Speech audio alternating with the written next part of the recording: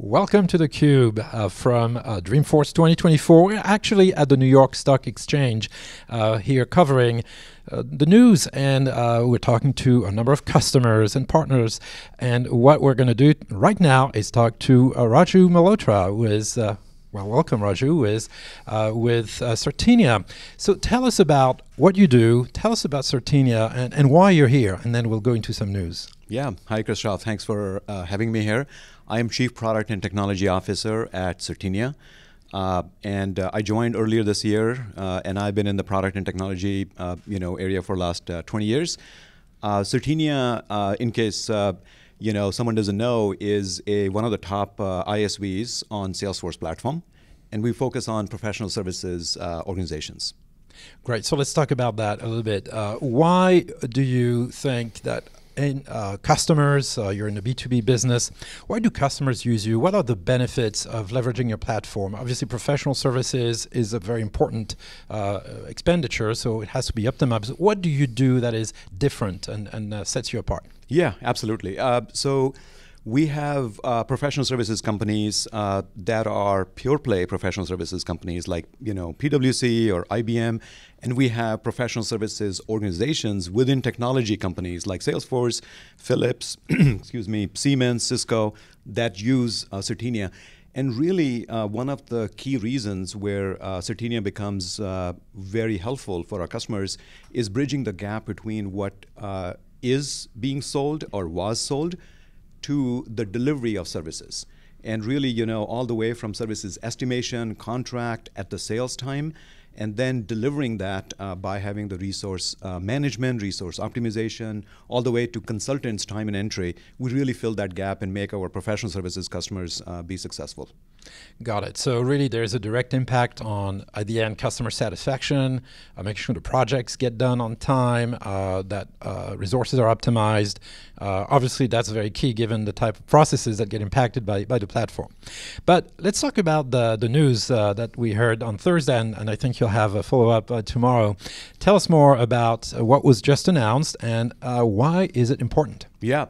So we announced uh, last week, in fact, Salesforce announced uh, the Agentforce Partner Network, uh, and they announced uh, Certinia as one of the key uh, ISVs, uh, early adopters of the Agentforce Partner Network. we have worked with Salesforce for a long time. We're native Salesforce platform company, and all the way from the platform usage to Einstein, this is really an evolution, and this is very exciting where uh, AI is progressing to and how we can help our customers even more. So the Agentforce uh, partner network, uh, you know, really having Certinia be part of that early innovation is very exciting for ourselves and also for our customers. Well, there's been a lot of talk about AI. I would say a lot of buzz about AI, but it sounds like it's becoming very, very real with this announcement. So, could you walk us through what you believe the top use cases will be, how you're going to be able to help and participate and, and really leverage uh, the, the network? Yeah. So you're absolutely right. I mean, AI is real. I mean, there are a lot of things that are very buzzy and not quite real, but I think AI is definitely having a monumental, monumental impact uh, on everything, but particularly for the type of business that we focus on. Professional services is very human business, very workflow uh, intensive business. So we believe this is going to be a huge area of impact for AI. And in many ways, this is really an evolution uh, for AI from uh, having AI assistants, chatbots to AI advisors, where you actually get recommendations, to now having AI agents that, in fact, automate the workflow uh, for you. So one of the key use cases that uh, we're going to be talking more at Dreamforce is having a semi-autonomous or autonomous customer service agent, customer success agent that really augments the customer success team and uh, provides a lot of value to the professional services organization in automating a lot of tasks uh, instead of just advising or assisting on those tasks. Well, let's talk about that because I think there's also a little bit of, of there's been a lot of anticipation about how AI will change the world, etc., and and the risk of maybe taking jobs away. But in this case, what I'm hearing is very different. What you're saying is uh, you're looking at incremental value. Uh, so let's talk about that. Is the role of the professional service, uh, uh you know, uh, organization changing? Uh, are you going to need more people, less people? Is it taking jobs away? Or is it, on uh, the other hand, actually mm-hmm. adding incremental value uh, to deliver a very different result that would be better than if you didn't use it? Yeah, so it seems uh, that it would be you know very complementary and it would add a lot of incremental value probably a lot of step value on top of what we as humans have been able to do uh, in the in the personas that Certinia serves. So for professional services, for resource managers, project managers, and also for customer service, uh, customer success, for customer success managers, we really look at the role of AI as supporting uh, the CSM team, supporting the, uh, the resource manager team, and amplifying the impact that uh, they would not be able to have otherwise. So, you know, there is this uh, old kind of paradox that. Mm-hmm what's easy for humans is difficult for AI, mm. and what's difficult for AI is actually easy for humans. So I think this works very well when we have the uh, agents actually in service of humans and effectively provide the, the level of impact to amplify what they're trying to do. Be it to engage with uh, many, many accounts that you may not be able to reach yourself because you only have so much time in the day, uh, and use the AI agent to support that, flag some issues for you, call out some areas of improvements, and uh, then uh, really em- enable the human CSM, uh, the customer success manager, to be very effective when that uh, time comes to meet face to face or through a video call with that customer. Got it. So let, let's uh, break this down a little more in terms of um, workflow improvements uh, and maybe some uh, metrics or expected metrics. What what does that translate into if, uh, if I'm well, either a professional uh, services organization within a large organization or, or just, just an action service provider? What does that mean? What can I expect? You know, the metrics are very much uh, what our customers care about. They care about growing their revenue, retaining their customers, uh, keeping their customers uh, satisfied and happy. So they keep having that renewal opportunity and discussions and be able to do all that in a very profitable you know margin positive way.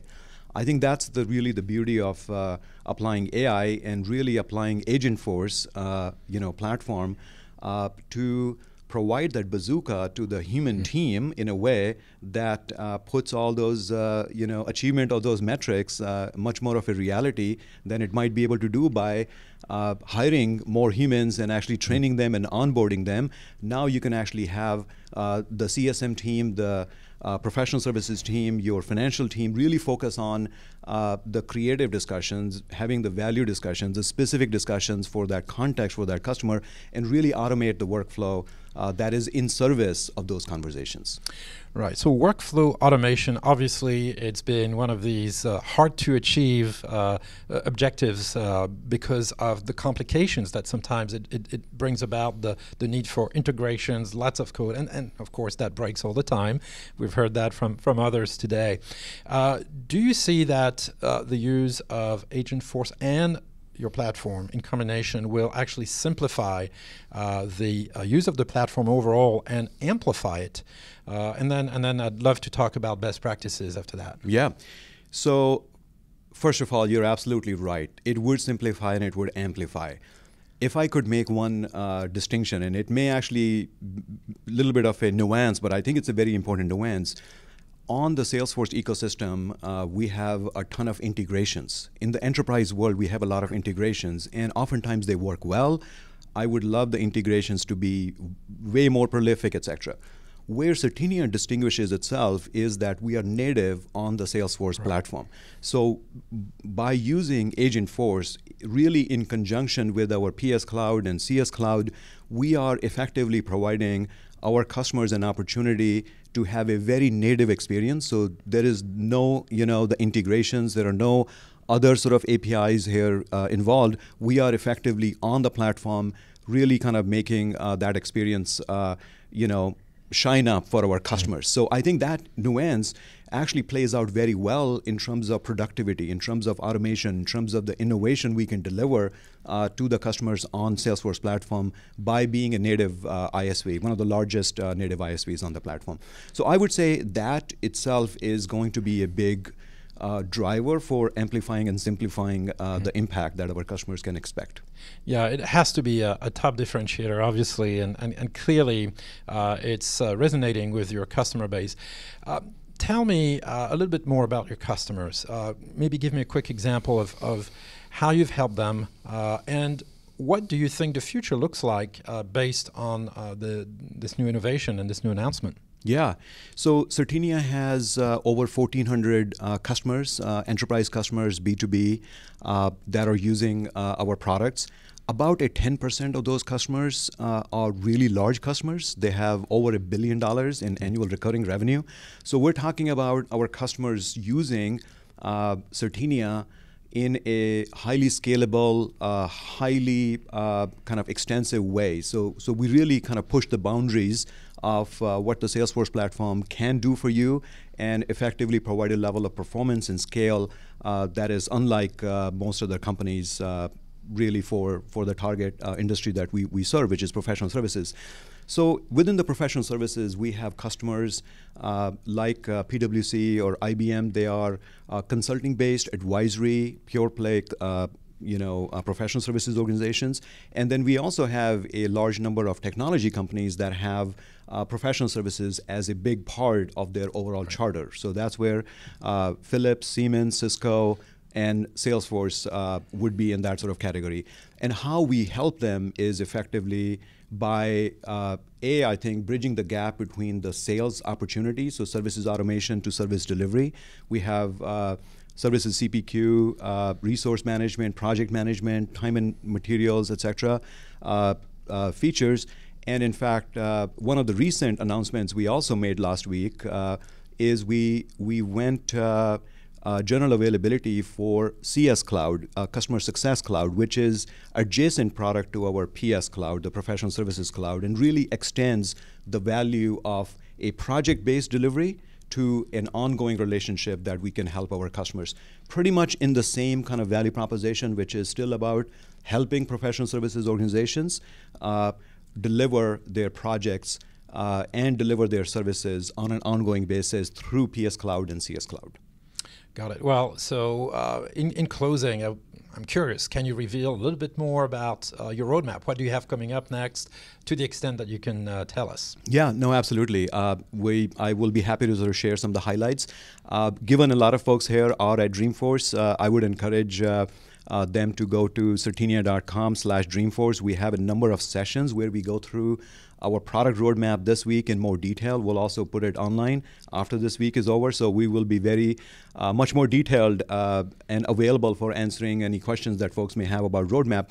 But uh, we really have uh, uh, some of the major kind of priorities for us. Number one is to stay best in class on professional services uh, and provide the performance and scale for the enterprise level growth. That that may work for mid market customers, that may work for other customers too. But really, you know, it, it provides a level of support, level of performance for really really large customers, so it can actually scale down very easily.